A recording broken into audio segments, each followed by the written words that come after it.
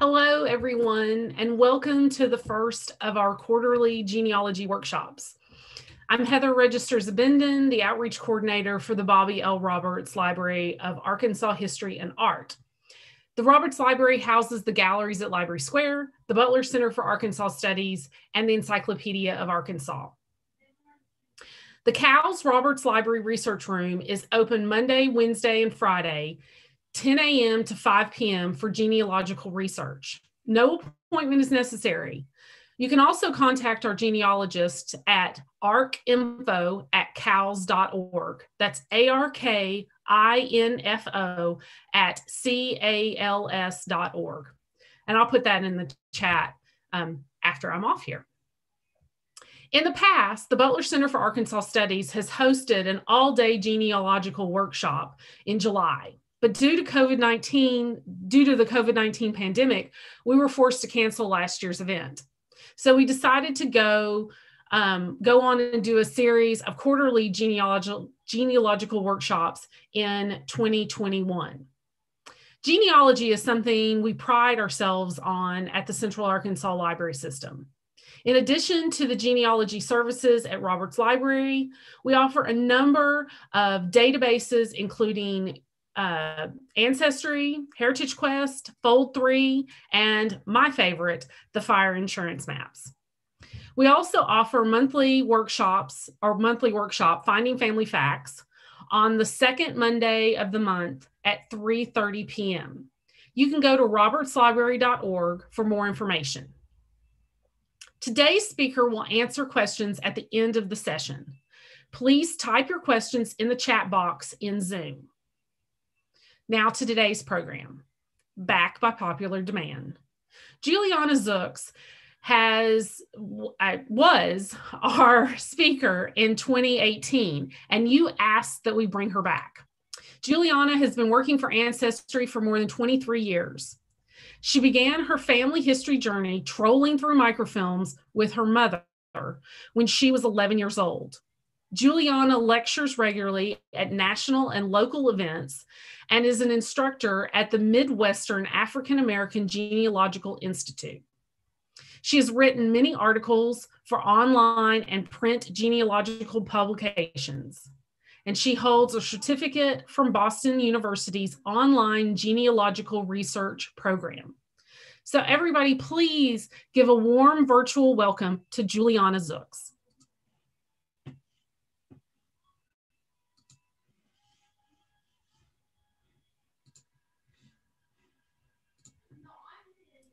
Hi. Thank you all for coming. Are you can you hear me now? Yes, we can hear you. Thank you. Okay.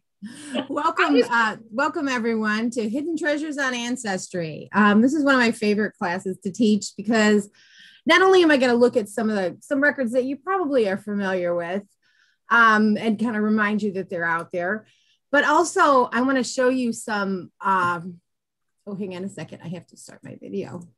Here we go. Um, anyways, uh, so I want to, sh- I'm also going to show you some other uh, collections that you may not be familiar with. Um, some like hidden treasures, actually. anyway, so I want to start though with some that you are familiar with. We're all, we've all probably used census records so many times, but one of the things I like to remind people is that with the ready availability as, as Heather mentioned, I used to go through microfilm. My mom actually had a microfilm reader in the basement. We were the only people in the block with that. uh, but when we were little, we used to have to order microfilms for the family history library. And so she would order them and she would put them on the microfilm reader downstairs and she'd go through them. But she would have my sisters and I double check. And we would have to go through and she would have a list of surnames and for every one of those surnames we found, if we filled out a card appropriately and put our source information on it so she could find it again, we would get a quarter for each card. So she was bribing us early and it worked because I became hooked. but anyways, but the nice thing about that is when you're going through the microfilms, you're you're getting to know the neighborhoods, you're getting to know your people, you're looking at when you find a record you're looking at every detail on that record you want to see you wanted to grab every little thing because they were hard to come by we were looking through brooklyn for people named kelly and miller So once you found one of your ancestors, it was like, okay, let's get everything we can out of this. But now we have so many records at our fingertips. Um, it's real tempting to just kind of, oh, yeah, there it is. And then I call this over here, I call this the something shiny pain because I see this census record and I know it's that Catherine Dennis is mine, but it's like, but then I'm like, oh, but there she is in 1910 too. I want to attach that too. So you start clicking and attaching. And before you know it, it's part of your tree, but you really haven't absorbed all the information that you can get from that record. So I always encourage people at the beginning of this class to please go through, look at everything that's in that record, because this is what it looks like when you put it into the tree residents, where they lived. Uh, sometimes you'll get a relationship to the head of the household, not a lot of info. We all know there is so much more in that 1910 census than this. So make sure that you go through and extract all the information. I still like to do a lot of stuff old school. And to me, it helps me when I like download a blank form and then I fill in like I because it makes you look at every single one of those columns on that census record and say, what does that mean? You know, oh, look, they couldn't read or write. Or look, he was unemployed for three months that year. The, different things like that, those other columns that we kind of tend to dismiss, you know, in favor of the age, birthplace, and the basic vital information. Look at all those columns because that's where the stories of your family live. And when you get find that information, you can go in and fill. You all you have to do is hit this edit button on Ancestry, and you can go in and edit and find add that information that you found. Like for example, if I just looked at that index for the di- uh, an index for the Dyer family, I wouldn't realize that they were in the same household as the donors. They were it was a separate household, but in the same building. And so I, I wouldn't have realized that if I hadn't looked at that image. Um, I can also combine information that I found in directories because 1870 doesn't give us an address. Now I have addresses. Um, so there's a lot of things you can do with this. People, I have um, ancestors, I, I'm sure you probably do too, ancestors whose ages change seem to, you know, their date of birth seem to change with every census, right? So you can do some analysis in there too. Say in this record that says he was this age, this record he was this age. You can do a lot of things with this little box here of the description. So take advantage of that and make sure you're getting the most from all those census records. And what I like to do is also start a timeline. Um, putting your ancestors' lives in context is really important. And when you look at one record in isolation, you're not really getting that context. You're not getting all that historical. So you can start with just one record. This is a 1930 census for my great grandparents. And just with this record alone, I can give you all of this. We can add all of this information. We've got birth dates and places based on their ages and the places of birth that we get in the census. Of course, we know where they were living on April 1st, 1930, because this is the 1930 census, and we even have an address here. So this is all helpful information. But as we start compiling it with other information in the census, um, we have an age at first marriage. So we can say, okay, we can estimate, do the math, and say, okay, they were married somewhere around 1904. Um, and then as you keep going, you can keep adding on information. Uh, there's, uh, it asks what date they immigrated. So I can say, okay, they immigrated in 1903, so they were likely married here in the United States. And that's where I'm going to start looking for that marriage record. So there are a lot of things you can glean as you start adding all these details, as you look at every single field in that census, you can start adding all the information. And as you think of the power, okay, that was just one census. Now, as you add on the 1920, 1910, you start going backwards and you keep adding on information. You can layer on all these other pieces of information from the other censuses and build on that timeline and really get a fuller picture of their life. Um, layer on historical events, World War One, um, Civil War, maybe whatever the era you're working with. Um, putting on those historical events, things that may have happened in the area where your ancestor lived can help you. But always keep what I like to do too is as I'm doing these exercises, keep a to do list on the side because you're always tempted. I know I am. I, I'm always tempted to like, oh, I got to go look for that marriage record right now. And then I kind of pull myself away. I like to keep a to do list on the side, write down all the things I want to do when I'm done, and then, you know, finish going through that record and really get all that information. Because otherwise, once you put it in your tree, a lot of times we don't go back and look at it for a very long time and we're missing those details. Sometimes the answers to our genealogical questions are laying right there in front of our face. It's just that we haven't opened up that record and really absorbed all the information from it. Um, I know you, have probably been to a million talks where they, you know, I've told you to cite your sources. It's how important, and it is. You want to be able to go back to that source.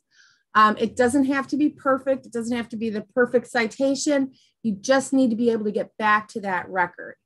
Um, I like to create like uh, before I, I I've gotten a little bit better at citations, but before I was good at it, I would create templates for each census and say, okay, now I just have to fill in all the little pieces, what page it's on, you know, what where it was at, all the the little details. So it makes it really simple to just kind of fill in the little pieces that are missing, and then you can paste it into a, a timeline and do whatever you want with it. But I found these are very helpful tools for getting to know my ancestors and seeing their their story unfold before me. Um, again, I mentioned browsing through an ancestors community. Thing we have to remember is a lot of times people, when they migrated or immigrated, they wanted to settle with people that they knew, people from the same places they were from. You know, a lot of times there's extended family living nearby. So make note of the people nearby. If you look, this is from uh, Chicago, 1940, and you can see all of these people in this neighborhood from Mississippi. This was part of the Great Migration. But looking at um, one family here, you can even see where they were in 1930. We have a more specific location in Mississippi. So, you know, if they're you, if the Williams maybe uh, extend, you think maybe they're extended family from your your ancestors, then maybe you take a look and start looking at Monticello in Mississippi and see if your ancestors were somewhere in the vicinity as well. It, it can be a clue. Um, also, we have at Ancestry, we have mortality schedules. Now, these are not all exclusive, but one thing to keep in mind is that mortality schedules name slaves before emancipation if they died within the census year. So you can see here, um, this would be an S uh, denoting that that was a slave. And you can see that we have first and last name there. Um, and then the F's would be mean that someone was free. So you may find free people of color, you may find slaves, um, white people, obviously, but you're going to find everybody on these mortality schedules. And again, this is an 1850 schedule, and where we're finding um, a number of slaves that are named with both first and last names. So this is a really valuable resource um, that shouldn't be overlooked. And mortality schedules sometimes don't hint very well. So it's something you want to go after. You want to go look for it. Um, and even if your ancestor didn't die within the census year, you can find out a lot of information about what was going on. What it sounds really morbid, you know, and genealogy, who, who but a genealogist wants to know what everyone was dying from in the neighborhood. But it's important because remember, um, a lot of times when there was an epidemic of some sort, people sometimes, if they had the wherewithal or somewhere to go, they would leave. They, they would get out of the cities or the places where they thought where, you know, this disease was running rampant and they would get out of the out of the way of it and try and keep everyone safe. Um, this is from Brown County, Minnesota. You can see all the kids that are dying from diphtheria. And like the ones in green are things that maybe might have been diphtheria, but just were misdiagnosed. So you have, uh, but you look at the ages of these and they're all kids. And I, if you can imagine, even if your ancestors or their family wasn't impacted, you can imagine the fear knowing that all their neighbors' children were dying of this disease. So, important uh, historical context to know about what's going on.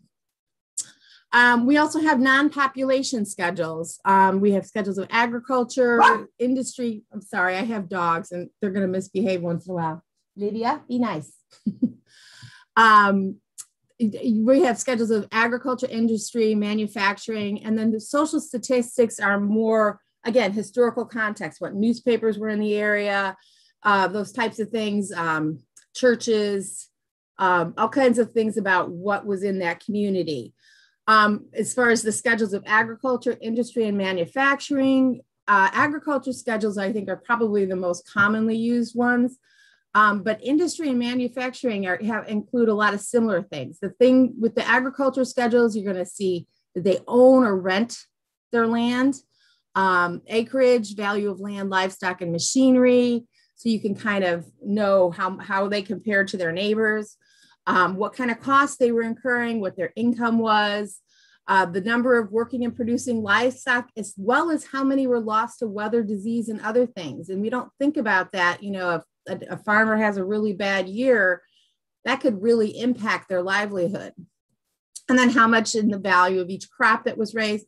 And what's really great to do is if you can compare between the decades, you know, especially between like what happened in between 1860 and 1870, you know, during the Civil War, how did that impact the family? You wow. know, did that help their help them economically or did that hurt them? So you you've got to look at all these things and all of this as you compare and contrast what they looked like before. You're going to see uh, a lot of differences, and you're going to get that story that you're looking for. And the manufacturing and industry uh, schedules are also similar. You can see, you know, what did they own? What kind of materials did they have on hand for their business? Um, how did they compare? You know, if maybe they made saddles or something like that, and how did they compare with other people that made saddles in the area?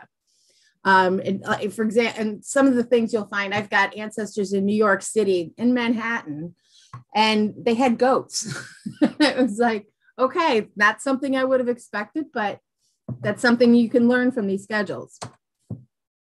Um, this is an industry schedule from Mobile, Alabama. And you can see again here, you've got um, this guy was a baker. Here's his capital invested, the quantities of flour he had. Um, how did he power it? It was hand powered. So this was all a manual thing. Um, he made bread. So there's a lot of things and now you can go and look and see, okay, how did he do in 1860? You know, how did he do in 1870? Now, again, these are, we don't have every single schedule. So in some cases, this isn't going to be possible, but in a lot of cases, it is. You're going to be able to compare them from decade to decade and see how they fared. State censuses are another great resource for us. Um, I don't know if any of you have ancestors from Iowa in, in 1925. This is what we like to refer to as the mother lode. um, this census asks for their name, relationship to the head of household, uh, color, age, marital status, home ownership, and also the value or rent that they were paying, uh, the value of their home or the rent, citizenship, number of years in the US, and number of years in Iowa, which is really helpful when you're trying to track migration, um, their education level, their literacy. That's just page one. On page two, we've got a place of birth. We have the father's name, the place of his place of birth and age the mother's maiden name, her place of birth and age. That alone right there is just a gold mine. And then also where the parents were married. Page three gives us military service, uh, also what state they enlisted or were drafted from, occupation, any how many months they might have been unemployed that year. Think about the impact that would have had on the family, as well as a church affiliation. So being able to identify their religious affiliation is going to help lead you to some possibly some more records. Um, when we were talking, I was talking about some of the rich records that we have. We have U.S. Tennessee Valley uh, Family Removal Population and Readjustment Case File. That's kind of a mouthful. Um, one of the things that happened as part of the New Deal is the Tennessee Valley Authority, and they were starting to build hydroelectric dams, and they were um, making a lot of changes a lot of places as they were building these dams, a lot of communities were flooded out. So they had to relocate people. So they put out these questionnaires. Now, these records do not surface very well because it, it's really they vary. So it was really hard to index more than just like a name. And sometimes you know you had to go in and try and dig for an age. So a lot of times you're not going to find these in hints you want to go out and seek this this collection out if you think your family was impacted by them um, and then go in go out and look for those um, this is one example for murphy allison and his family no one had an education higher than fourth grade Uh, it tells us that Murphy had gland trouble. They had 17 acres of plow land, five acres of pasture, and 15, 18 wooded acres, two horses or mules, and 50 chickens. Um, the condition of their farm building was good and their house was fair. So you find out all these details about the family. Um, this is another one, incredibly detailed. Uh, this is for Jim Henry Davis and his family. Um, he was two miles from elementary school, seven miles to the high school, one mile from church. The store was two miles away, and they went about four times a month. Um, they likely would have walked. They rented a frame home with no tub or with a tub, um, no water though. So they had, would have had to bring the water from a spring that was about 300 yards from the house. There were no f- toilet facilities inside or out. Um, wood fireplace heated their four room house. Among their personal possessions was a guitar and a sewing machine. Their church preference was Baptist, and James was a farmer who occasionally worked in timber. I don't know of many collections that will give you that level of detail about a family. And this is just, that's just the first page again. Um, this page talks about his landlord, and then he was a sharecropper, and it lists the acreage of the different crops and the livestock he owned. He had four cows, five hogs, and 42 chickens. His expenses for 1934 were 186.50, $186.50, and receipts totaled $278. That's for the entire year of 1934. And they had a pretty, um, they had four boys and five girls, so nine kids. That's what they had to live on. Uh, but it goes on and li- lists the goods that they produce for family use, um, other expenses that birth, marriage, educational information on the parents. Uh, it even said tells us that um, five of the chill kids had the chills last year. So um, there's a little bit more detail about their health. Um, that also gives the ages of the children, education. This is another page from that same file. Um, and while this family wasn't selected for sure, they were definitely interested in moving and they were cooperative. And if, ne- if necessary, they wanted to stay near their community. So they, they may have had family members there, or something like that. But you can learn a ton from these records, but it's something that you've got to dig deep for. And I'll talk a little bit more about how you can find these unique collections in a bit. In fact, in a minute. Um, let's talk about vital records. These are kind of a cornerstone of family history research. We always want to dig out the vital records wherever they're available.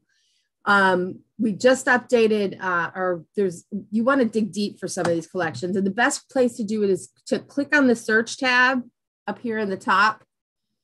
Um, when you click on that, you're going to be taken to this page, and down towards the bottom, you'll find this map where you can click on a particular state.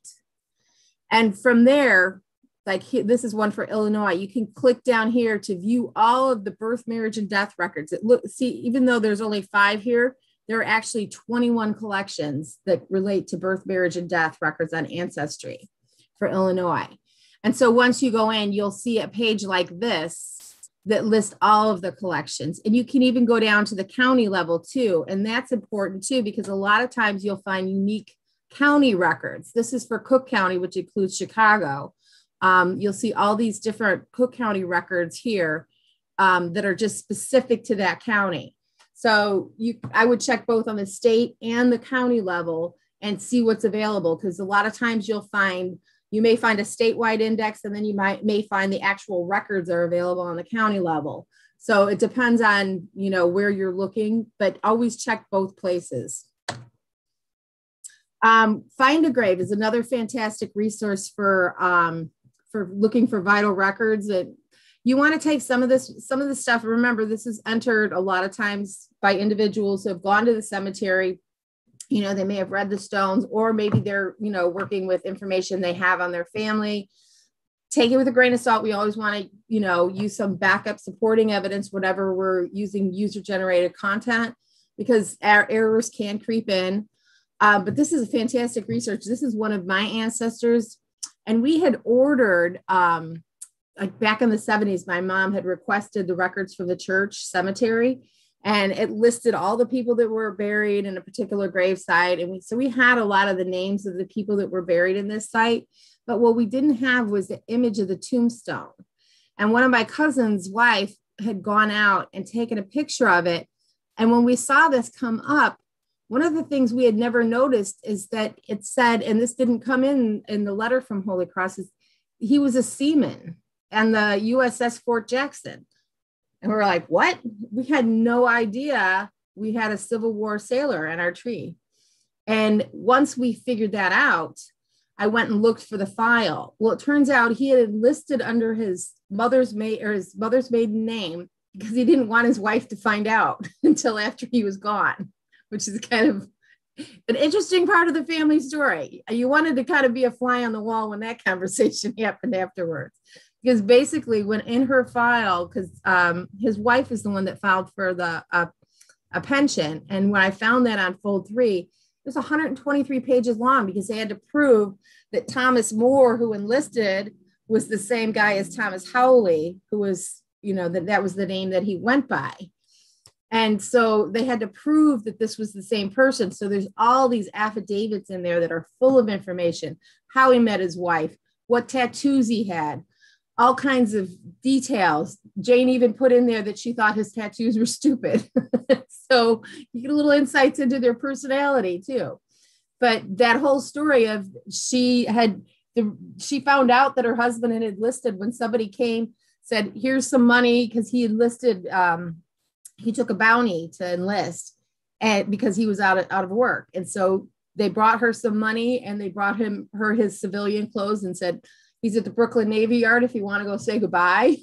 So again would have been interesting to be a fly on the wall for that conversation. She was she said i was not pleased in the in the thing. I think that would probably be an understatement um, religious records can also open up some doors, especially because of the fact that a lot of times they predate civil registration. So if you're looking for vital records and they only they didn't start until later, consider looking for religious records because sometimes they can give you some insights that you're not gonna that may not be available via civil routes. Um, we have this. This is just a sampling of some of the collections, religious records we have. I would look for a, a location, um, search for a location in the card catalog, and then maybe enter a keyword of Catholic or uh, Methodist or whatever religion you happen to be looking for. But um, right now we have, uh, this is a sample from our Toledo Catholic Parish records. Uh, we have collections from Boston, Colorado Springs, Pennsylvania, uh, Canada. We have the Drouin collection, which is really interesting. A lot of people look at that and go, oh, it's all French but actually you're going to find a lot of Irish people in there too, a lot of Irish Catholics in the Drouin collection as well. Um, we have some fantastic religious records from Ireland, Mexico. Um, there are some other um, Caribbean countries now that we're starting to get some records from. So go out there and check and see.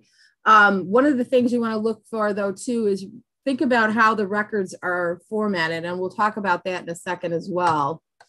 Um, we have U.S. Dutch Reformed records on Ancestry. Um, there are a number of different collections. Um, you want to go seek out all the different ones and see where what the coverage is for each one. Always look at the descriptions when you're going directly to these. We tend to go for that search box at the very top of the page. But if you scroll down, you'll see the description for that collection, and that's going to give you coverage information. Sometimes you'll find tips for how to use the collection, how, ways to search it. Um, if it's an index, you may find information on how to request a copy of the actual record. So a lot of great details in those descriptions that you don't want to overlook. Um, this is another collection, Swedish American church records. Um, we've got three different, at least three different ones. There may even be more now, but we're continuing to add to these religious collections as we go. Um, this one here, you could see it gives us, this is actually the whole family. And you can see the different birth names, when they were baptized. Um, a lot of times you'll see when they came and left the church, like if they, when they arrived and were admitted to the church, and then you'll see another notation when, you know, if they left and moved on to another place. So here again, you may find a little bit of a clue to their migration path if this is a family that moved from place to place for a while. Um, this is another register here. This is that same register. And you can see um, they tested people on their knowledge of and their understanding of the church. Um, this tells us when they arrived in America, when they arrived in this place. So, and then where they were from. Here again, the migration path, finding that out is really helpful. We have United Methodist Church records. Um, here again, you've got a record of all the baptized children, um, all the different places, and then it says the above records were taken from the certificate of baptism. So they're kind of compiling these records, and you get a little bit of a, a gist of where they're coming from. But we have these for Illinois, Missouri, Indiana, and I believe we've added New Mexico since here too. Um, we have Presbyterian church records. These include 38 states, baptism, marriage, death, and membership records. Um, the membership records are the ones that you're going to see where you're going to find all these different, you know, when they left and when they came in. But here again, received, when and how they came in. This is when they came into the church. Um, this abbreviation we'd have to look up and figure out how what that means. But here's the names of all the people and in full. We have a huge collection of Quaker meeting records. And if you have Quaker ancestors and have researched in these, you know how amazing they are. They kept very, very detailed records. You could find it again when they came to a, um, uh, join the meeting, when they left the meeting, um, sometimes why, and sometimes those could be interested. Did they leave of their own accord or were they kicked out? Um, so you can find a lot of interesting details about the family story in these records. Uh, oh, and when we uh, also on these special collections that we have, I want to point out whenever you land on one of these pages, like the collection pages, look for a research guide because we've tried to put together research guides to help guide you through the intricacies. So if you've never worked with Quaker records before, we have a pretty lengthy research guide that will help you get started in those type of records and explain them to you. Um, same with our Jewish family history collection here. Uh, you could search from uh, all of our Jewish records from this form here, and this is going to include immigration records as well as Holocaust records, uh, records from the US and from Europe. Um, there's some aid association records in here, uh, a ton of different types of collections that we've partnered with JewishGen and a number of other uh, Jewish organizations. Um, we've also partnered with the US United States Holocaust Memorial Museum for the World Memory Project. And this is a volunteer project. If you want to give back a little bit, you can actually go in, um, download a tool, and you can up uh, go in there and start indexing some of these records and help once once you index them. In the World Memory Project, all of the indexes that we create from these records are free. The images will not be available on Ancestry, but once you find that record in the index, you can write to the US Holocaust Museum. And what they'll do is they'll send you a copy of that record for free. They just, out of respect, they don't want these record, the images online. So, um, but really fantastic resource. And again, if you want to give back, you can download the software and go in and key some of these records. Um, they're they're very moving and heartbreaking. I've done a few of these, and um, it's a it's an, a very moving experience to do that. So I recommend it. Um, again, we talked about getting to know the records. Um, uh, the Catholic records, a lot of times you're going to find in other religions as well. You're going to find that some of them are based in Latin, and that's something that we notice right off the bat here. See all the first names are in Latin. So that's how you may want to search for those names. I always try to go out there and do a search for a common name, look and see how they're formatted, and try and get some clues. Another thing you want to look at too is in this case, we've indexed the father and mother on these records. So, what you can do, and what I like to do, especially I, have used these Irish collections uh, pretty extensively, I go in and I'll search for the parents' names and make sure that I can capture all the children because there may be children that died young or you know a sibling that I'm not aware of so you can go in and capture more of the records as if you go in and just search for the parents' names and see if you can find all of the kids that were born to that couple. Um, we have a really great collection of military records, and of course, there's also Fold3. Um, one of the most common ones that uh, we see is the World War One draft registration cards. More than 24 million men were required to register for the World War One draft. Not all of them served, just because they registered it, you know, they just that doesn't mean that they were called up for the draft. But you can find out a lot of great details in there. Uh, where were you born? Um, this one, this gentleman was born in Madison, Tennessee. A lot of times, for and remember, immigrants were required to register as well, even if they weren't citizens. So you can find birthplaces in the old country, and some two, I think two of the three forms have the birthplace. One of them does not, but you could go in and find maybe their birthplace in the old country. You've got dates of birth, and this information was given by the person themselves. So you're going to be getting probably you know firsthand information as best as they knew it. Um, this gentleman's occupation was a grave digger, and tells the cemetery he worked at um, he had a, a, father, mother, wife under 12. He was look, he was taking care of his wife and niece.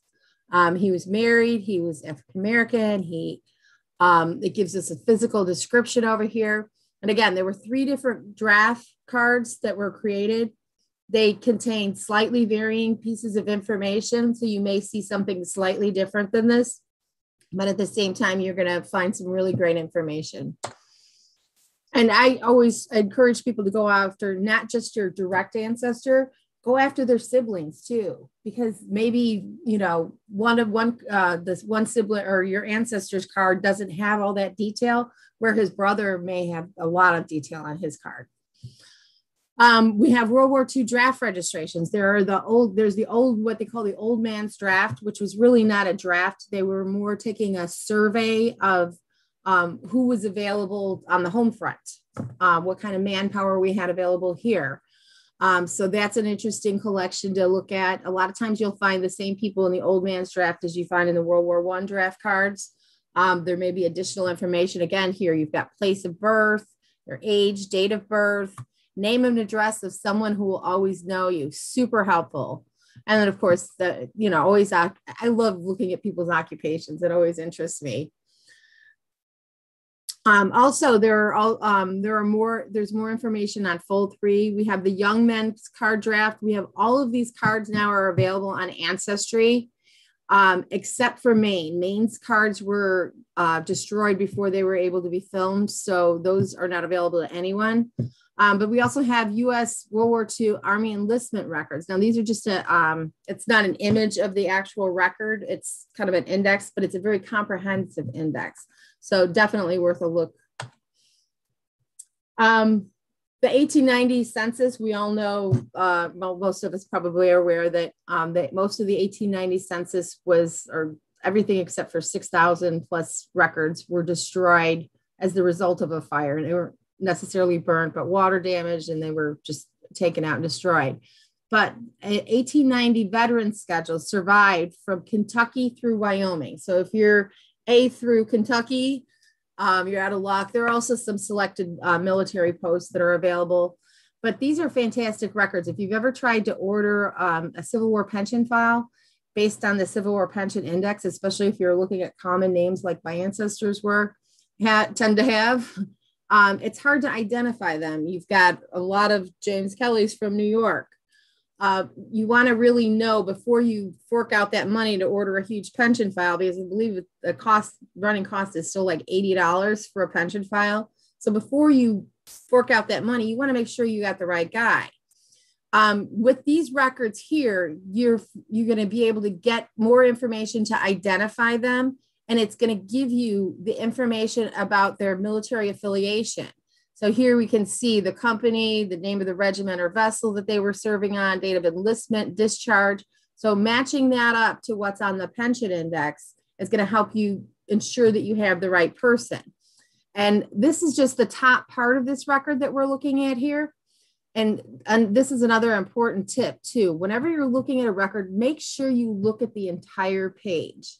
Uh, a lot of times you'll find notes at the bottom, and sometimes the notes are like the best part of the page. you never know what whoever that record keeper decided was important enough to make note of at the bottom. But also in this case, um, the bottom portion of this same page, this is what you have, and you've got their post office address, which helps make them identifiable. So if I'm looking for John Rudolph and I know my guy lived on Fifth Avenue, I'm going to, you know, this is going to give me a pretty good idea that I've got the right guy. But you've also got, again, the notes, the disability incurred, and the remarks are fantastic. Um, this guy, uh, John Rudolph, he uh, his disability was pleuritic effusion. His horse was shot out under him. He had three ribs broken and was discharged for disability. Um, there's all kinds of different things in here. Uh, guy had rheumatism. Um, let's see. Uh, this guy here lost his right leg at the Battle of Antietam, and he was drawing a pension. Um, so that tells us we need to go look for that pension record, right? Um, another guy here had a gunshot wound in the right arm. He was discharged um, from the hospital at Alexandria. And the last one deserted from the Confederate Army and enlisted in Company E, Captain Holmes Company. So, again, all of these details are part of your family story and going through and making sure you're capturing the whole thing.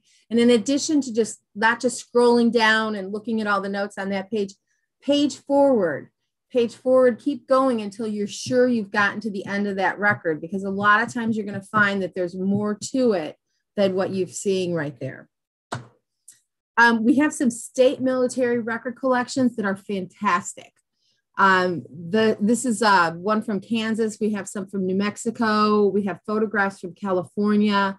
Really rich details. What Kansas did here um, is the Historical Society went out and reached out to the families of World War One veterans and wanted to know about their their veterans. Uh, most of them, I believe, were deceased, um, but you're going to find all kinds of details that were handwritten. This is from uh, on the stationery from the family, and their handwritten details from the parents talking about where he was born and you know all the di- different details and you find some really moving messages in there too um, you know, notes from the mother who just lost their son. Just incredible, incredible family history treasures in here. And I love the photographs. Um, for US records, um, one of the things we have are Seamen's Protection registers and certificates. Um, uh, there was the problem of, especially in the early 1800s, before the War of 1812, of impressment of US soldiers. So seamen were ordered the or given these protection certificates to say, "Hey, I'm a U.S. Um, sailor. You can't take me." uh, but they're they, they were used for a lot of things. I think a lot of ways they were kind of um, almost a passport. But you can find a lot of important details about the people in these records. This is one of the certificates here. Um, this list includes the fact that he was going to Philadelphia from Philadelphia to Martinique and back. Um, it talks about where he was born, gives a physical description. Um, this is for John Brown. Um, he was an African American man, and he, this record is from 1798. So, records for African Americans can be difficult to find from this era. So, these are real treasures. Um, and a lot of times you're going to find African American, especially free men of color, they found work as sailors. So, especially up in the North, um, Massachusetts, you know, all the different uh, sailing areas up there. So, something to think about. Um, this is also, this is actually a web database. And I wanted to point this out. What we've done is gone out and with for websites like the National Park Service, uh, we've gone out and gotten some of the information from theirs, and we will send you to their website for more information. So you can click here and go through and see what records the National Park Service has in this actual index. And sometimes they will have a little bit more than what we've captured here. But you can see that even with just we had what we have here, there's some pretty decent information there. These are among my favorite records. I have a lot of city people um, and US city directories are fantastic because urban residents tended to move a lot. Um, they tended to be renters, and uh, a lot of times when the leases expired, they would get a pick up and move and find another place. So you see them moving from place to place. A lot of times it's within the same community, but especially when you're tracking people, knowing their address in a city is really helpful.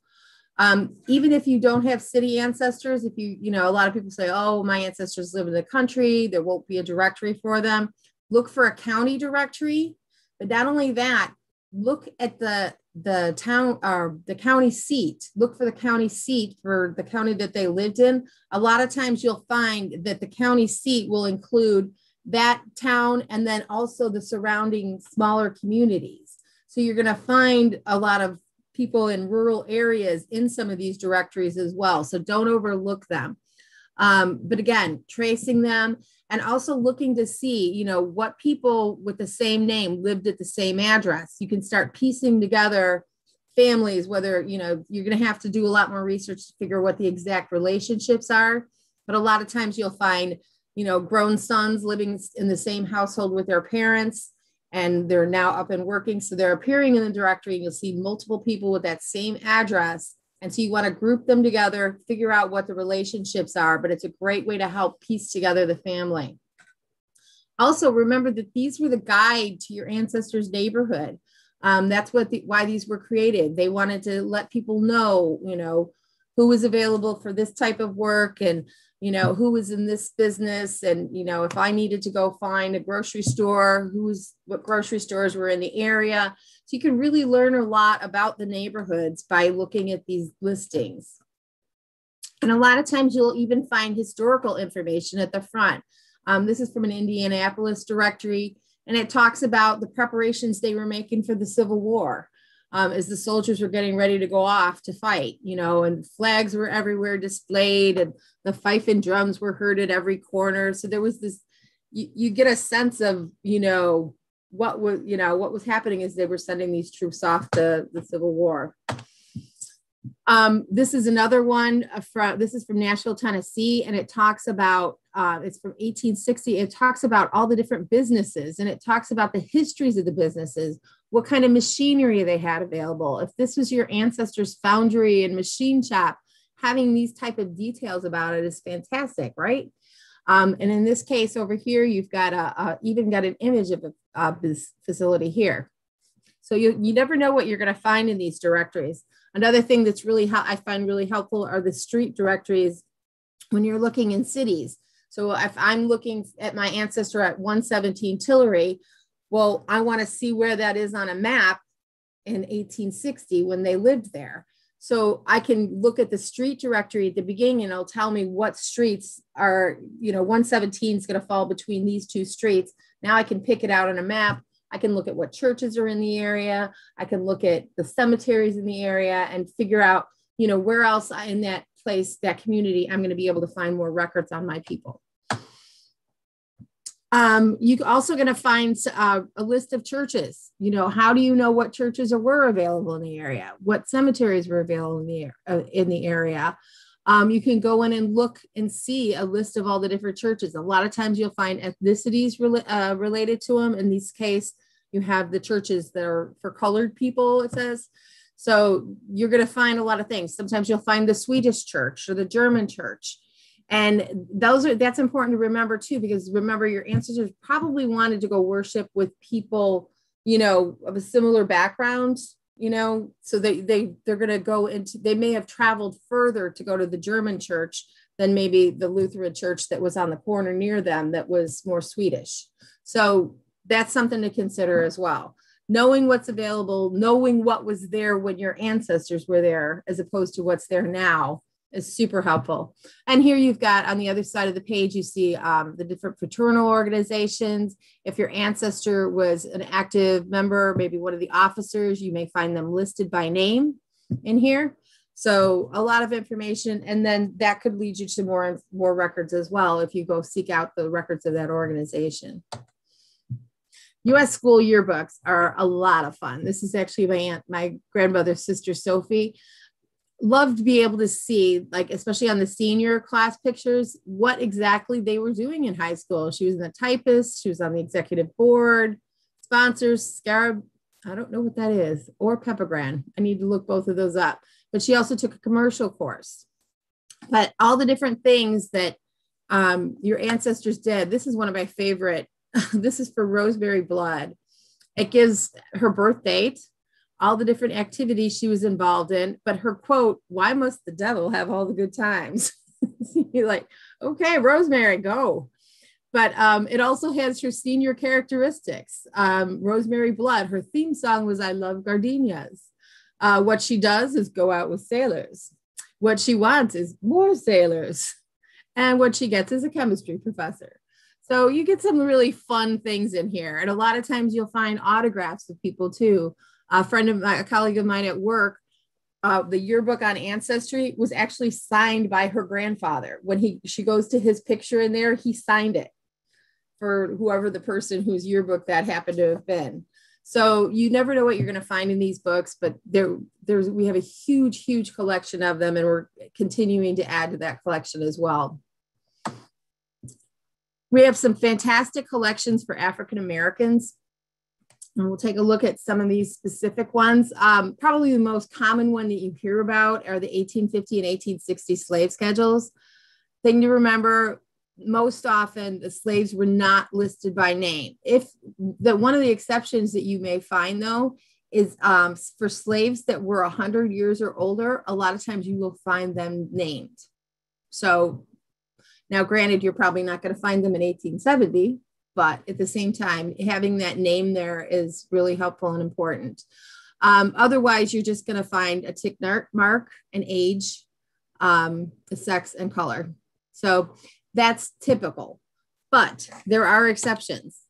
Um, you're going to find out uh, a lot of times you'll find different things. Um, hired out slaves, you may find that they list the employer, like this one here you've got you know that they were hired this is who they were hired out to and that or this was the owner and this is who they were hired out to. Um, some in this case some of the slaves were being hired out uh, dr rowe was um, hiring convicts from the penitentiary and he was using them as slave labor. Um, oh also over here henry smith's slaves were being held in trust what does that tell us? We want to look for a probate because that could include more information on the African Americans he held as slaves. Um, Freedmen's Bank records are another unique collection on ancestry. The Freedmen's Bank was incorporated in 18, March 1865. There were 37 branches, but only 29 of those banks records were preserved. Um, they were in 17 states. Over the lifetime of the bank, there was like over 70,000 depositors. Um, unfortunately, uh, the bank closed in 1874 as a result of mismanagement, fraud. Um, a lot of people lost all of their savings in this bank, but the cards continue to give to us. Um, the ones, this is one from pretty close after slavery. In this case, you're going to find, you may find the name of the master, mistress, and plantation. Um, later ones will not include that information, but this one's from 1866, so it does. But um, you can go in and see this, these cards and um, bank records in general. The, the really cool thing about them is back then you couldn't just go slap your eyes, you know, show them your state ID or your driver's license. You had to prove who you were to the bank before you could go withdraw funds or do anything with your your money. So they would grab personal information that presumably only you would know. So you can see here in, in addition to the plantation information you've got a description you've got the wife's name name of children. This gentleman served in the U.S. colored troops, so it gives that his regiment and company, place of birth, residence, occupation, and then the remarks. It gives his father was Ben, he was freeborn. His mother was Betsy Stewart, brothers, names all of his siblings. So, really great information here um, on Ward Markham. And you'll find this on a lot of African Americans that uh, put their money in the Freedmen's Bank. Again, the later ones aren't going to give quite as much, but you're still going to find these remarks. You just never know what you're going to get on these records. So, always worth a look see. uh, the Southern Claims Commission, um, and then there are some of the files from them as well. There's an index. Um, we've updated this and added the name of witnesses. Uh, there's these are claims that could be filed in Alabama, Arkansas, Florida, Georgia, Louisiana, Mississippi, North Carolina, South Carolina, Tennessee, Texas, Virginia, and West Virginia. Um, in 1871, they created the Southern Claims Commission. It was an organization so that Southerners, both white and African American, filed claims for reimbursement of any personal property they lost due to the Civil War. But they had to prove the, the loss of the property, they had to prove that they had supported the Union and not supported the Confederacy. Um, they had to submit claims um, to the government, and there was there's you'll find a lot of times a lot of correspondence in there Um, but you also, in addition to individuals, you may find churches, businesses, and other institutions uh, submitting claims. Um, this is one of my favorite ones. It's for a gentleman named Fergus Wilson. Um, his property was taken by Sherman's army a few days before Christmas in 1864. I'll read you a little excerpt from this. It says, My name is Fergus Wilson. I was born in Savannah. I'm 70 years old. I live at Elliott's Bluff, Camden, Georgia. My business is a farmer. I am the claimant. I resided from April 1st, 1861 to the 1st of June, 1865 in Savannah. And he was working in a hospital as an attendant. He was in the capacity of a servant. I did not change my residence during this time. Um, and this is part of the really cool part of this one. Um, it says, I concealed Union prisoners and I fed them during the war.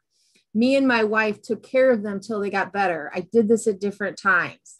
I carried baskets and threw them into the Union prisoners three and four times a day.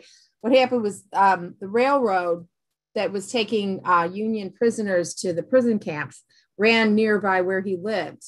And so the family would go and they would throw baskets of food up to the prisoners that were passing by on the trains. But he says, I would, ra- I had rather suffer death than to see them open their mouths and we not fill it. The cars passed along near where I lived, filled with Union prisoners. I ran and landed, handed over baskets full in the cars, spite the guard. The women would run and tumble over with the guard after them, but they would be sure and get the bread in the cars. I encouraged them to do this, and they were better than the men.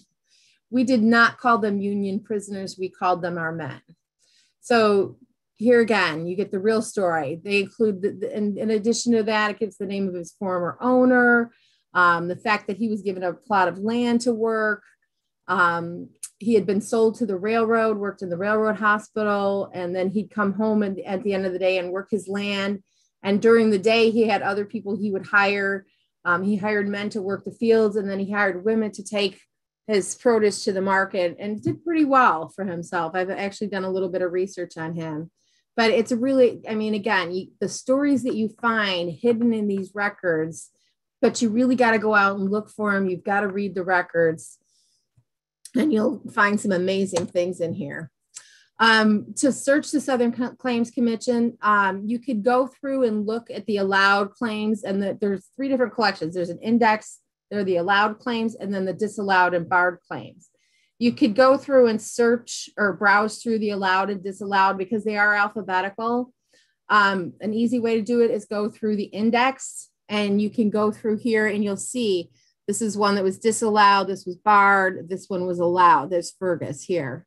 So his claim was allowed, although they didn't, they only paid him like less than half of what he had been asking for. And his story is really kind of fantastic too when you read through the entire file.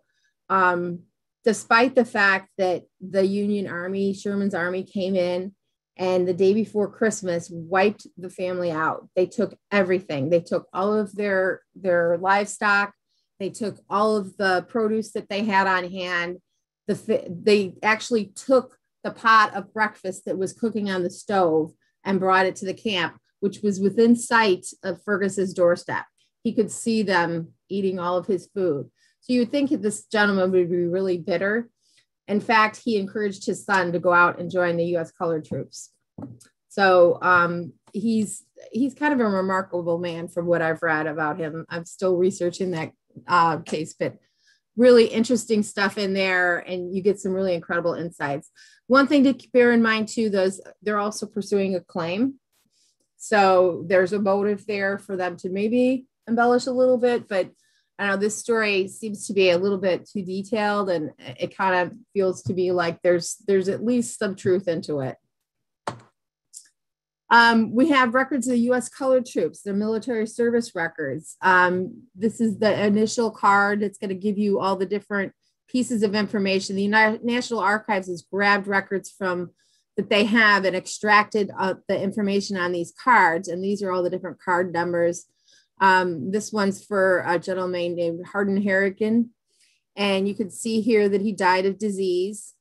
Um, but he gives here, it says his name's, uh, it says James Harrigan, supposed to be the name of the owner. but it also says down here added May 1948. So again, here we want to look at that evidence and go, okay, this was added way after 1864. So that's something that we're going to want to investigate, but super clue here. But again, the information, your organization he was affiliated with, where he was born, his age, when enlisted, where enlisted, the period, um, a description, um, muster dates, all kinds of information, um, and then credited. We're credited. This okay. The fourth district. Um, so this is where he was credited as serving. His different areas, different jurisdictions were required to raise a certain number of troops. So he was credited to the fourth district in Kentucky. Um, U.S. Register of Colored Troop deaths during the Civil War is another interesting one. Really sad thing here is when you look at it and see how many of them died of disease. Um, to me, you know, that's really sad. I mean, it's not any sadder than having die on the battlefield, but to me it, it, seems like they're like not as necessary if they would have been able but they're just they just didn't have the wherewithal to take care of people as well as we would like to have seen. But so many people in the civil war both african american and white died of disease but it was a lot more prevalent among the african americans so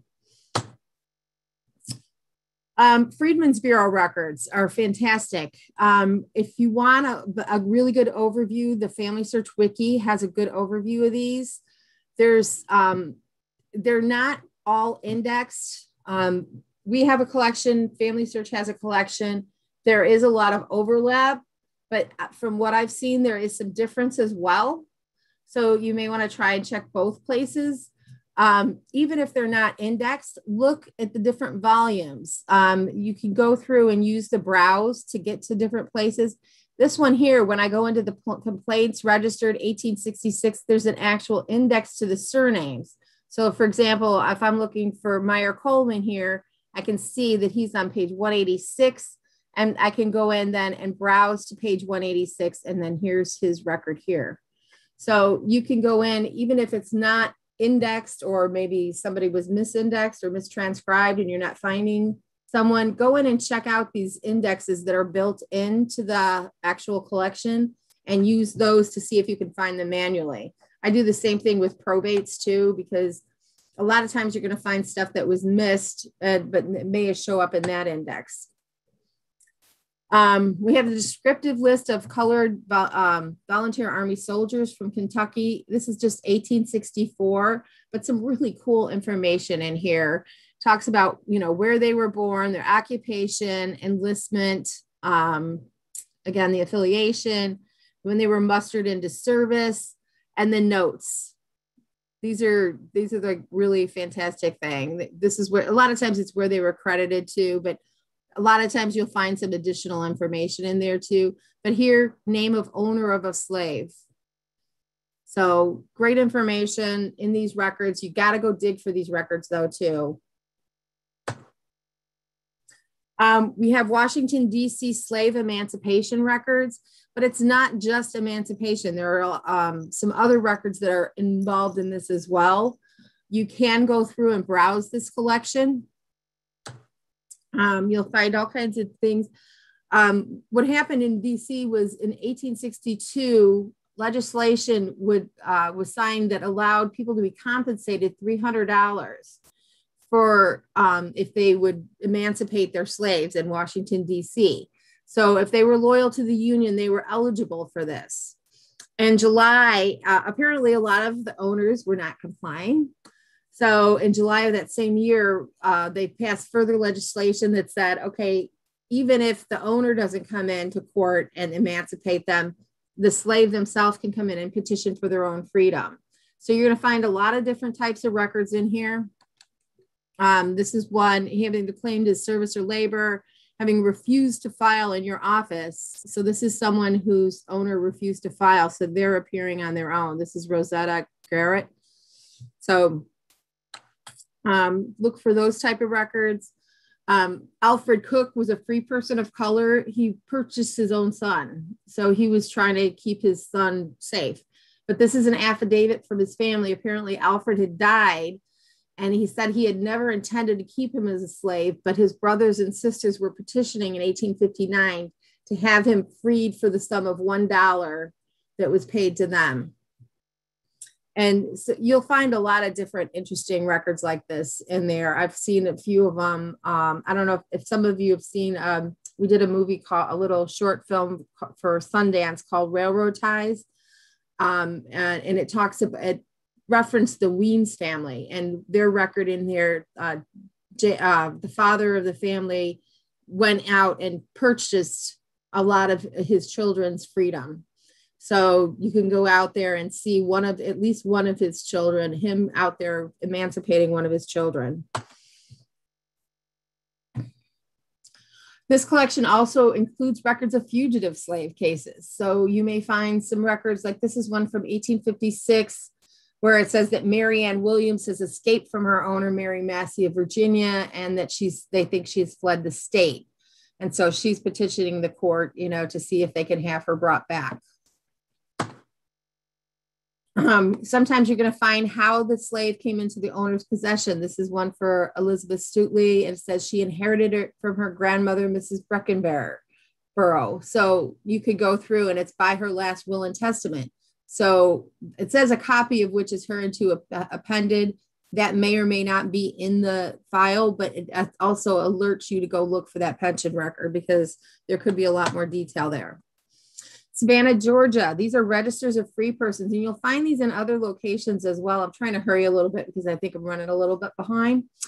Um, but an 1839 city ordinance required that owners of slaves and guardians of free persons of color had to register. So they'd have to go get a badge from the clerk of the council before they could be hired out or before they could, um, like, if somebody would have to go get this um, permit before they could permit their charges to be employed. Um, also, all free persons of color 16 of age, um, and then it was lowered to 14 in 1854 or older were able or they were required to register annually with the clerk. Um, and otherwise, they were uh, you could have you they could be removed from the city. Uh, by state law, all free persons of color were between 18 and or between 15 and 60 were liable for public service. So they also had to serve up to 20 days a year if a person of color entered and remained in the state and failed to register, they faced arrest, trial, and a fine of $100 and or labor as punishment. So um, these are, look at the descriptions. Again, all this information comes from the descriptions of these Georgia records. And you want to look on, again on the, the local level, look on the state level, because a lot of southern states had similar legislation like this. And so you may find records that are similar to these from Savannah. We also have, uh, lastly, a collection of um, U.S. African American newspapers.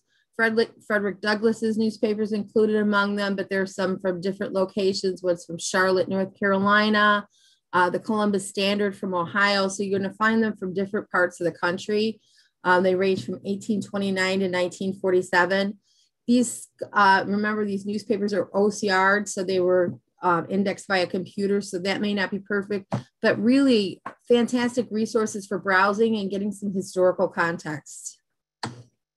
Um, we have some special collections, uh, as far as special collections, we already talked about the Jewish collection, the Quaker collection. We, we also have a collection of American Indian records. And that's, um, again, we have the guide here. Um, if you scroll down on this page, it's going to give you a list of all the collections, all the included data collections here. So like each specific database that's included in this, and it's a pretty extensive list. Um, but again, here's a research guide. And then this is where you, you can hop down to all the collections that are included in that search. So fantastic researches if you have Native American ancestors. And that actually is pretty much it for what I have. So um, Heather, if you're ready for some Q&A.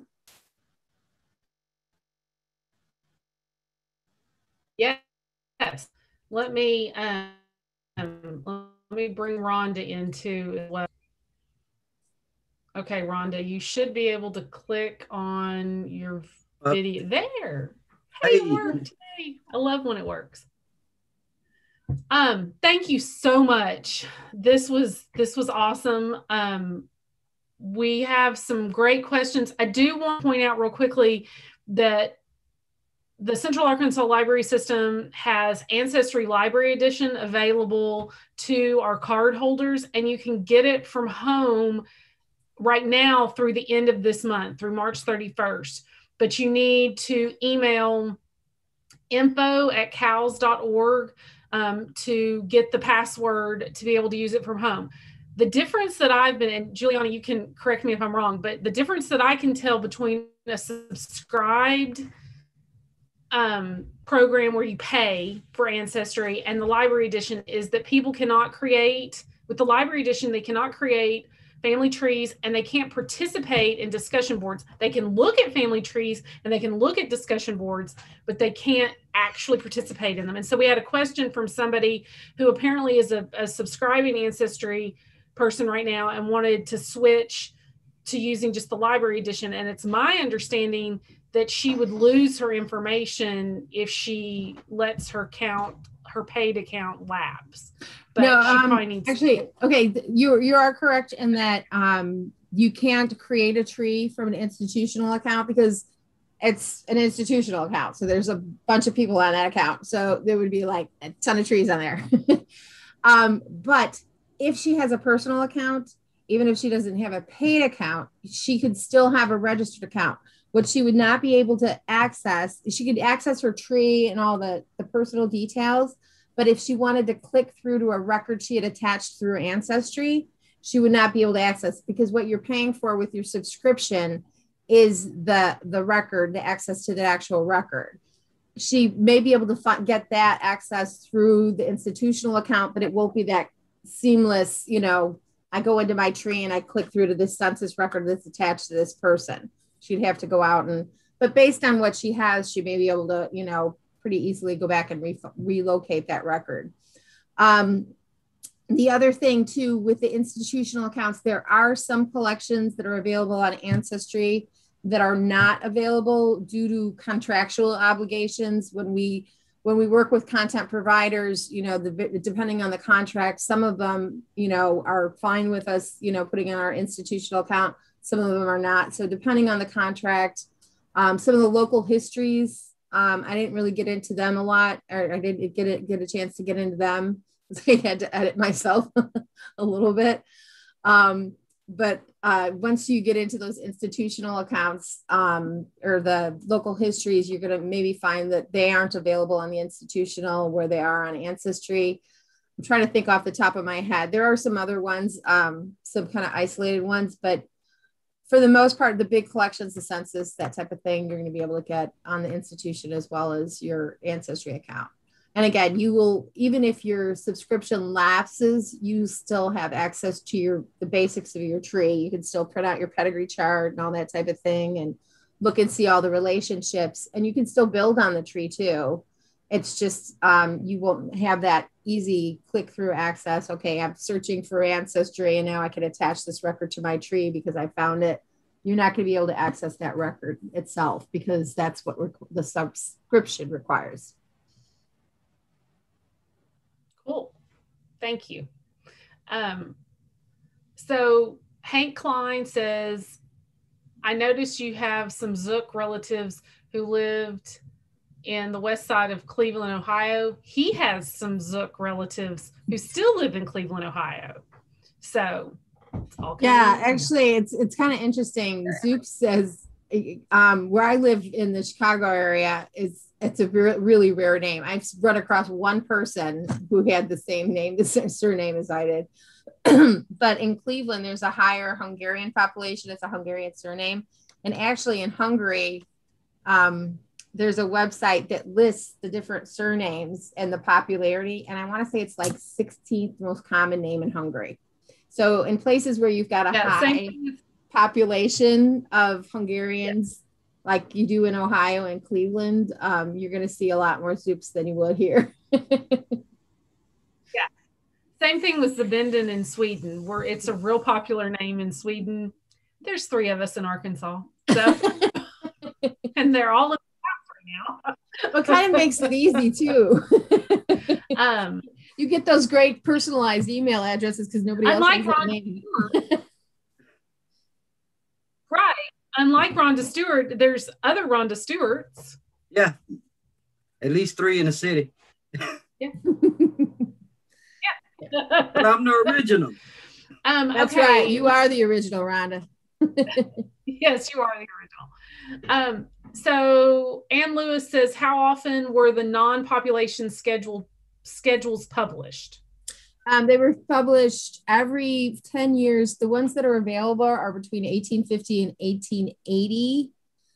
Um, so those are the ones that you're going to find on Ancestry. I believe there are a couple selected states. There might be some from 1885 as well.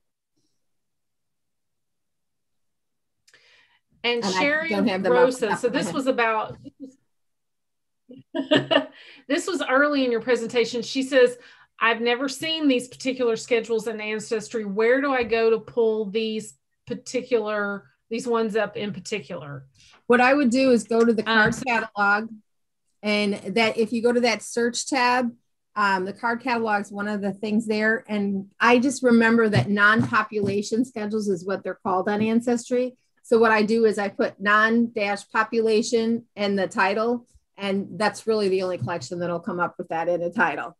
Um, if you when you search the card catalog, and I thought I had a slide in there for that too. I was trying to edit because I knew I had way too much in here. Um, and I must have accidentally deleted that. But when you search the card catalog, when you're searching the title field, the words or the term that you put in that title field has to appear in the actual title of the database. So if you know the title, like non-population or mortality schedules, I'll just type mortality, and there's not a lot of databases that come up with mortality. So that's a quick way to bring up one if you know the title if you're looking for a keyword, um, like for example, I use the example of um, Brooklyn a lot. Um, there are a lot of collections that relate to Brooklyn, but don't have Brooklyn in the title. Um, there because Brooklyn became a part of New York City, so there's like some Brook, or New York Vital Records. So if you put it in keyword, what that does is it search not just the title, but it's also going to search the description. So it's going to say, okay, I'm looking for Brooklyn. And then when I look at the description, it says includes records for Brooklyn, blah, blah, blah, blah, blah, even though the title of it is New York, New York Vital Records or whatever the exact title is. So um, you're going to get a broader search if you search keyword. There are also filters along the side. And if you want, I could pull up and show you here. This is where you would get to the card catalog. Sorry, a search. That's um, that's not my tree. Come on. My mouse is being wonky today. Let's see, there here's your title search. And see this, I if I search for Wyoming, it would pull up that because Wyoming's in the name. But here's where you would put keyword, but you also have these filters by category. So if I was looking for vital records, maybe I want to see what birth records are available for Arkansas. And so I can go in and say, okay, here's birth. And then I can click on Arkansas. And you can see we've got Arkansas birth certificates 1914, 1917, and you're going to see a lot of other lists. Um, when I'm looking for vital records, though, I tend to go to that map because I think it's kind of a cleaner experience. Um, here's where you would go in, like I showed you before, and then you would click on the vital records. And then here's all the birth, marriage, and death records we have for Arkansas. So, and again, check on the county level as well. You may find stuff in here that you're not going to find other places. Um, sometimes they're newspapers. Here we've got Washington County, Arkansas marriage records, 1845 to 1941 on the county level. So you want to look both state and county because you don't know, you know, what's available. And knowing what's available on Ancestry is really key because you can search till the cows come home for that birth record, but if we don't have it, you're not gonna. So knowing what's there, and then also keeping up too. When I look at the card catalog, come on, I can go and hover over this, and it's going to tell me when um what uh, when this database was published. It was published in August of 2020, and it was updated same date. Because sometimes we'll go back and you'll find that updated date is more recent. So it gives kind of a clue that you might want to go back and revisit that if you haven't been there in a while, because we may have added new records that have become available or done something that tweaked or re-indexed some things that is going to make it easier for you to find your people on there. So it's always good to kind of keep up this way with the card catalog and know what's new. And you can even sort by date added. So, like the newest records right now are showing up at the top, whereas the older records will show up at the bottom. And you can sort by the title, um, date updated, or record count. So you can pick all the biggest ones on top. so Robert Lindley says that he clicked on Illinois on the map in all collections, which brings up counties in narrow by region. However, a number of counties on this list show temporary, un, temporary unavailable. Um, is he doing something wrong? He says. Um, he was he's saying temporarily unavailable. Is it like a error type of thing? It's hard to say. Okay. It shouldn't they if it's coming up, try if you come up with like any kind of error saying I, I can't get this right now, try hitting refresh. A lot of times, you know, you get that little glitch and then it just you hit refresh and it comes right up. Um, if there if that's not the case, um, oh, you'd have to send, send me an email to my personal email, Juliana Szucs at Comcast.net. Um, if that's not the case and it's not just something that a refresh is going to carry over, you could, if you could send me a link to that, I could pass that on to people in the office and they could check that out for you. Okay. Um, we've got some, we've got some compliments, excellent program. The, um, this is being recorded and live streamed to YouTube. And so you'll be able to, there is no handout for this. I know in the past we've done a handout, but um, the recording is your handout. um, so what what are the dates of the oh that's for me so future quarterly workshops we're we're working on that so hopefully june or july um, mary evans says she heard ex- that ancestry extended the remote through april i haven't heard that yet mary but often you know things rhonda have you heard that i haven't heard, I haven't heard. okay yeah i'm mary not aware knows. of that um, but yeah. it's it's quite possible though we so, usually so. they are um, Go ahead, Rhonda. I just said, let's hope so. It's been yeah, productive. let's hope so. It's been productive. Uh-huh. Yeah, it has been. Um, is what you can access different from what I have on my paid account? In other words, do you have more?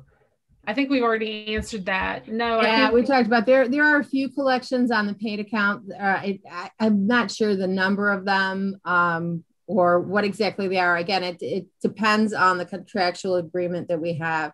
Um, any collections that are from the National Archives, for example, those should be available on your institutional account. Yes, yes. Um, yes, this is being recorded. And so when you get your follow up email, which will include a survey um, to tell us how wonderful we are or what you'd like us to change, um, either way, um, you will also get the link to the recording in there as well. Um, you can access Ancestry through CALS. You just need to email info at cals.org and I will type that in the chat. Um, they will check your account and you'll you'll give them your name and your library card number and they will check your account and then they will send you the information on how to get the remote access. You can also come into any of our 15 branches and use it from a branch computer um, there in, in the branches. Um, are there lots of English records, Bristol, Shropshire? Yes. Uh, yeah, we have a very good UK collection. I can't speak specifically to Bristol or Shropshire, um, but if you go to that same search tab, you can go through and when you click on UK and Ireland, you could click on England and then you can go in through, like, for example, here's Shropshire. We have this is what we have for Shropshire. We've got some parish records, um, not really a ton there. There's some directories, uh, Church of England parish records. Um, so yeah, Shropshire is a little bit lean. There's some um, stories, memories, and histories, and this is one I didn't talk about these are the collections that don't surface well, both US and anywhere really, um, because they're typically books that have been OCR'd. Um, so they're not those nice, neat columns that databases like. But again, when you're looking for that contextual history, I treat these like a book on my shelf. A lot of times you can browse through chapter by chapter and see what's in them, but fantastic information, stuff that's available on a local level. The, the things that you're not going to get in your history books are the kinds of things that you can find in these small local histories. Fantastic information. But again, you got to go digging for them. Glenn Whaley, who is the manager of the Roberts Library and our boss, um, says that we got word in an email on February 24th, which I guess Rhonda and I both missed. We don't have time for email. that Ancestry is good through June 30th. So thanks for letting us know that, Glenn. Yeah. It's good for me to know too. Um, we don't have time for email. We answer questions. um, one thing that I noticed while you were talking is in those military records, the cool thing that I found on mine, I I always tell people I didn't do a lot of my personal genealogy. I was busy doing genealogy of the woman I wrote my master's thesis on. And so just recently I've started doing my own personal genealogy. And, you know, my grandfather, he was gray headed by the time I knew him, right? And so I had no, and black and white photos. You can't really tell really what hair color is. Um, and in his draft card for World War II, he is marked as blonde. And he doesn't really look blonde in a lot of the pictures, but so I always think that I mean that's that extra level of of detail that you don't that you don't get just in the census. Mm-hmm. That's very true. And uh, sometimes too, you can kind of compare, Uh, you know, if you've got another record with a, some kind of description on it, or if you're looking at a photograph and trying to identify someone in a photograph, sometimes those physical descriptions can help you with that.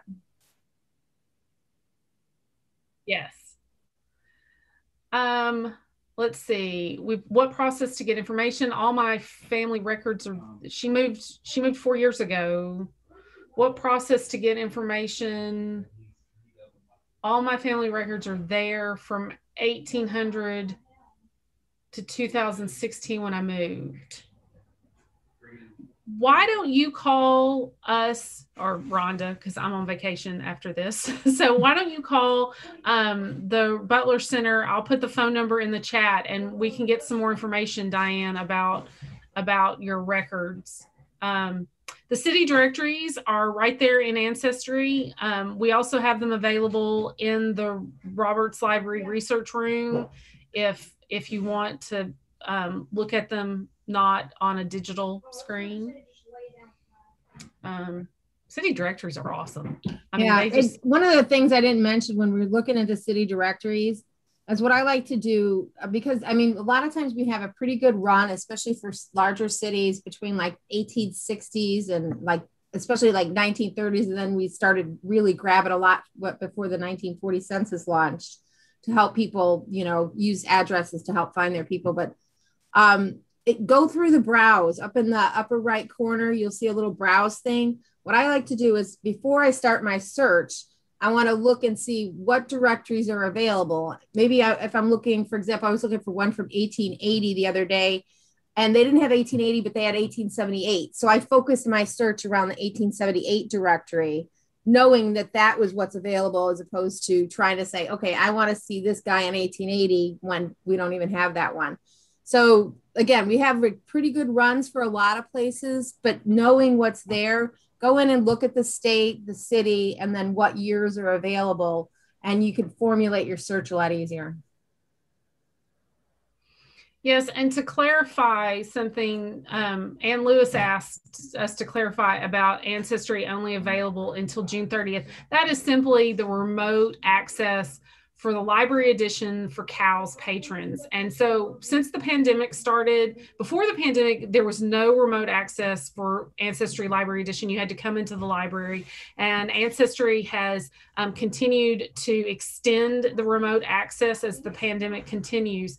So right now we have till June 30th, but it it's moved like it's been a moving target like every every month ron and i are talking about it like are they going to extend it so so now till june 30th that is just the library edition that doesn't affect any personal accounts any subscriptions to ancestry i don't want anybody to to misunderstand me on that so um, and yes the access remote access to Ancestry to get that information, you do type info at cals.org. That goes to the main library and they're going to check your library card. Um, but if you want to ask questions about genealogy or get in touch with Rhonda or any of our other genealogists, it's arcinfo at cals.org. And I clarified that in the chat. Any other questions, Rhonda? I am excited. I'm thankful for you, Juliana, because I oh, always oh, learn you. so much from you. And uh, you reconfirm that I am processing the materials in a way that would make it beneficial to the people I'm talking to. So thank you for. Uh, oh, uh, thank you for inviting me back. I love. Yeah. I, I, I wish I could be there in person again, but hopefully soon. yeah, we're gonna do this again in person, God willing. We will. And do you want to talk just briefly about the 1950 census?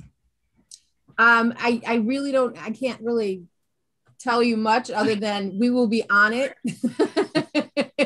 as soon as that thing is available. Ancestry will be there with going, please. so we will be getting it out there as quickly as we can. Um, I really don't have any details on the release and release dates. We're still a little bit out on that. Um, but yeah, we should probably be starting our countdown calendar now, right? right. And uh, all those volunteers that helped with the 1940 census, bring back, come back, bring a friend, and we're gonna get this done. yep.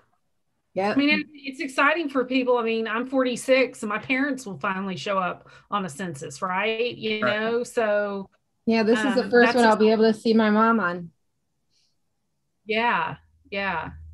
Um, okay, we've got uh, just a f- two more questions, and they're kind of they're kind of important, so I wanted to get those real quick. Um, Sherry is doing she's searching records in the Azores, and she says, um, "Any advice researching records in another language?" They're um, Portuguese. Yeah, it's hard. Um, th- one of the things, and I'm not familiar with Portuguese or Azores records, but um, so I'm not sure you know what style they're in if i found because i'm searching for like hungarian records in some cases and some polish records um, a lot of cases you're going to find like like with the hamburg passenger list even and a lot of the german records if they have those columns at the top or you know the if, if they're formatted in a way where you can interpret the columns a lot of times it's really easy i've been able to get by with Google Translate and you know different word lists. Family Search has some great word lists that use commonly um, include commonly used terms that are found on records. So it'll translate those for you. And what I'll do is I'll like print out a header and write in what this is.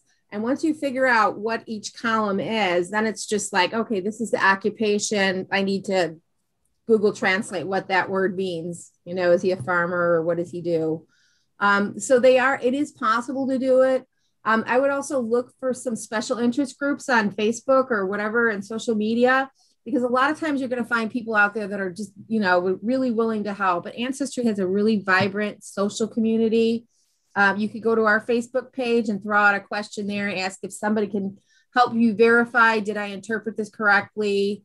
um, in what did this mean? And there may be, you know, some different things. Again, look at those descriptions too, though, because a lot of times you're going to find some helpful information in there that's going to help you um, not just just you know translate the records, but also interpret, you know, the purpose of the record, why was it created, that type of information. That's all important when it comes to analysis.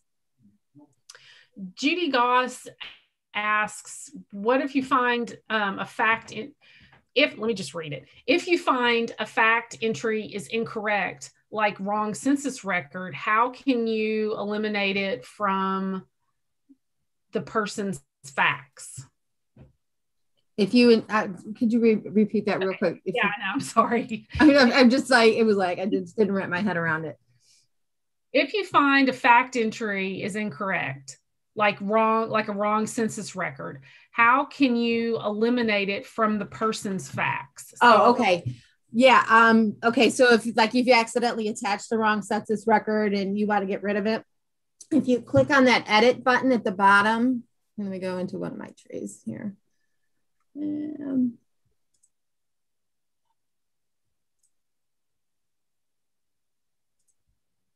and if it's another person's fact, then you have to contact them, correct? Okay. So I could go in here, like, for example, if I thought this is the wrong one and I want to remove this fact, I just double click on the fact and down here where it says delete, I can delete that. But I also want to look and see, okay, when you click on a record, I love this little line that tells me this is the record that that it's we're talking about. So say I wanted to eliminate this record.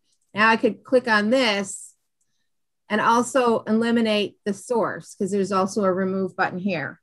So I've done this a bunch of times, like, oh, that wasn't him. And so I'll go through and eliminate the source and eliminate the event from the fact page. You can see here, I really need to update Jaja's page.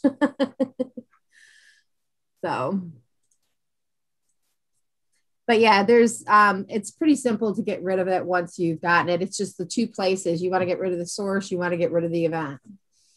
And you can also create custom events too. As, as you go to add a fact you can go and create your own custom events. Like maybe you found some piece of information of something that happened in 1864 that's not included on a record that you have there. You can add your own fact if you have an image of that record in your own collection you could add the image add that to the gallery and then attach that to the event um, so there are a lot of things, ways you can kind of work around things if you don't have the, if we don't have the record on Ancestry and you're not doing that click and attach type thing. I find that that timeline is like, thank you. One of the best things.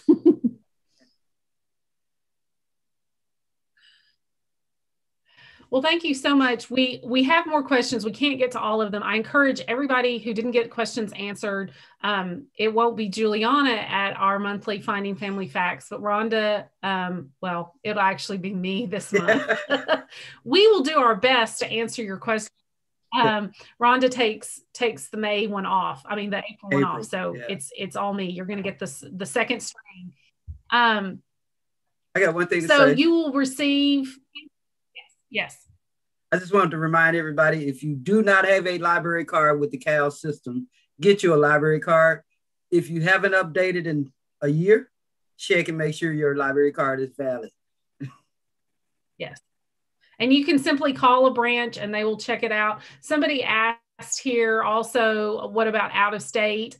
Um, if if you are not a Central Arkansas library patron and not a card holder, check with your local library. Most libraries subscribe to Ancestry um, and other genealogical resources. They may not have a genealogy resource center like we do, but they will. They will have. You'll have access. You can still email us and call us. We'll help anybody anywhere, um, but just you can't necessarily access access ancestry unless you physically come into our building and if you're out of state that may be a little hard um, but still contact us we may be able to help you answer your questions um, so you'll receive a survey tomorrow or in the next couple of days. I can't remember when I scheduled it via email to the email address that you registered for this. Please take a few minutes to complete that and let us know what we're doing. Um, and also let us know what other kind of programs you'd like to see. Um, and watch your email also for a date and time of the next genealogy workshop. It'll probably be in June or July. We haven't selected who we're going to um, have come do the talk this time. Rhonda and I have got to get on that. I meant to do it for this, but time got away from me um, as it happened so many times. So thank you, Juliana, so much for doing this. Again, it was great um, you always have i always learn like rhonda i always learn so much. always learn something yeah. Well, yeah. thank you so much for having me. I appreciate you inviting me back. Thanks everybody